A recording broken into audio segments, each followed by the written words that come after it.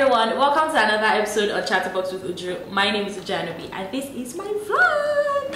I'm getting ready to go to a Two Face concert. Obi and I and my friends we have like this concert today, so we're just getting dressed now. And I just thought I should film a short video on something that I feel has become very rampant. I would say in Nigeria, but as Precious would say, it has become rampant globally. So let's go with globally. I feel like it's something that either happened to someone or you personally you have done it to someone else and I just feel like I should shed light on it. So what are we talking about guys? Ghosting.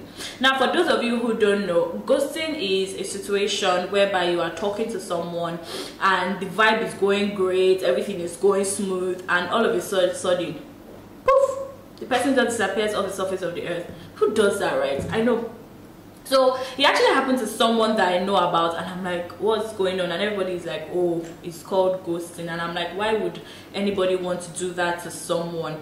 So, from what I understand by ghosting, things are actually going well between you and the person. The vibe is great. You guys are chatting always. You guys are texting. You guys are calling. Like, you know, that person you're chatting back to back with, and the person just stops replying, and you're wondering, what happened?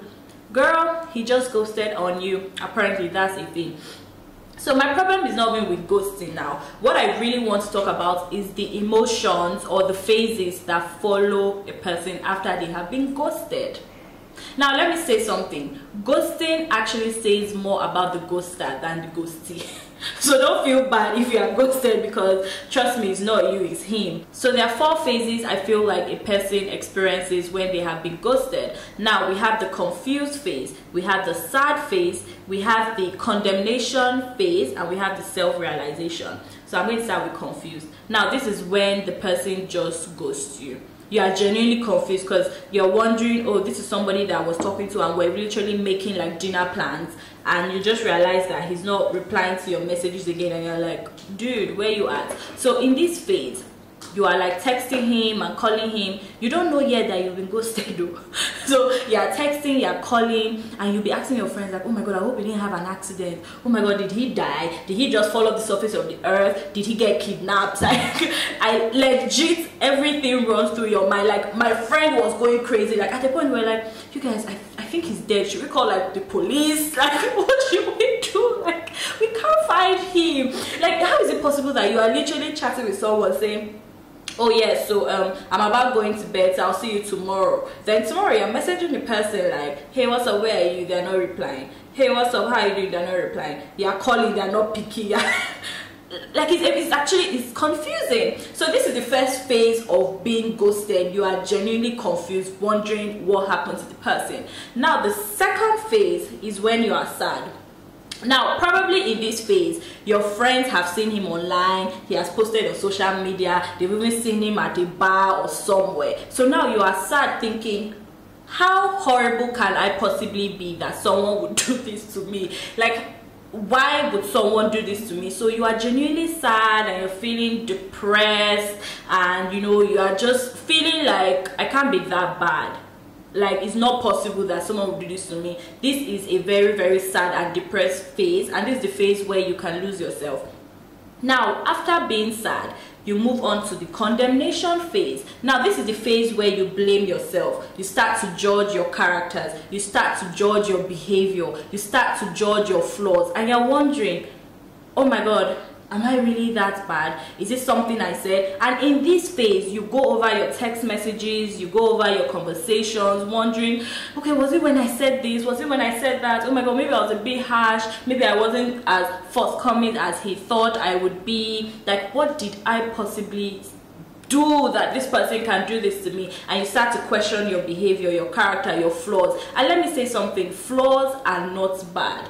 If someone cannot love you for your flaw or if somebody cannot love you despite your flaw then they are not meant for you. So don't even try and kill yourself like oh maybe i should be more um, forthcoming. Oh maybe i'm not as badass as he thought i was. Or maybe i'm not a certain way and i should be that way. No girl it's not you it's him. Like i said at the beginning ghosting says more about the ghoster than the ghostee so it is not you it is him. So when you are in this phase and you're condemning condemning yourself for what you don't even know you did in the first place you should just totally remember that uju said it's him not you.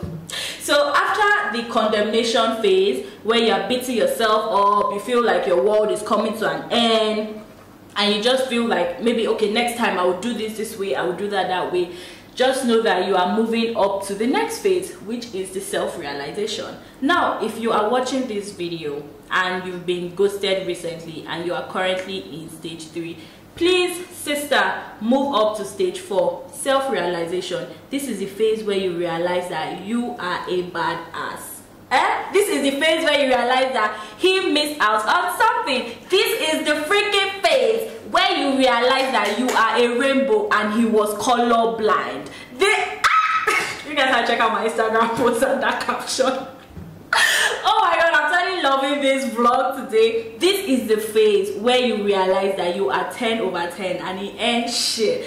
Anyways, guys, self-realization. This is the phase where you are like you know what i'm not that bad i'm badass people like me people want me i am a catch he doesn't know i'm a catch oh my god i miss talking to you guys like this is a phase where you realize that it's actually not you it's him and he's just a terrible person. Because i feel like if i'm talking to someone and i'm actually feeling the vibe with the person i wouldn't just cut the person off. I feel like it's if i'm not feeling the vibe and the person will know you're not feeling the vibe because from inception you're not answering the person. So the person will understand and take his L and go. But if we are chatting back and forth and you just stop chatting I'm not going to think I'm the problem. If you don't come out to me and tell me this is what you did or this is um, this is not what I'm looking for, then I will just take it as you are the problem. Ladies, ladies, ladies, please, you need to self-realize yourself to realize that he's the problem and not you. I just feel like ghosting is something that has just